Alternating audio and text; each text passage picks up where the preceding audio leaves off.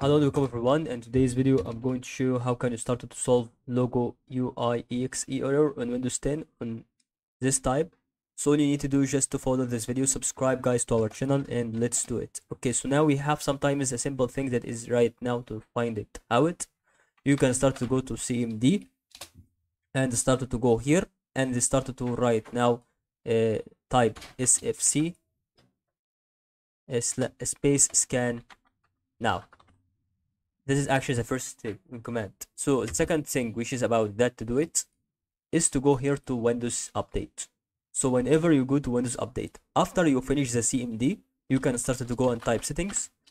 Now once you type settings right now you can start to go over here and start to go and click on update security.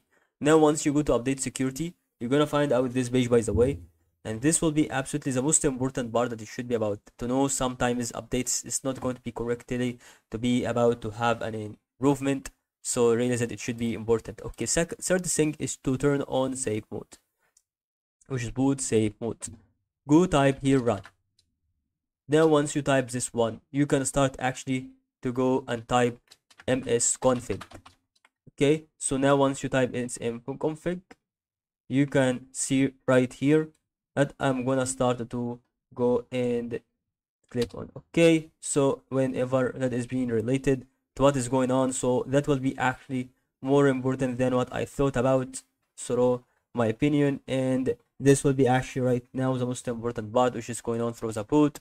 And then click on safe mode or safe boot enable it minimal and then click on apply and click on OK and that is all to know how you can solve this kind of solution also don't forget to also to know the fast step which is going to be about to reinstall graphic drivers. Like now you can start to update it by going through here and start type device manager. Now once you type device manager you can go over here and start to go in this part and right click on display adapters or go over here in display adapters right click click on update. So sometimes the update not going to be correctly on the side itself but you should start to go for updating it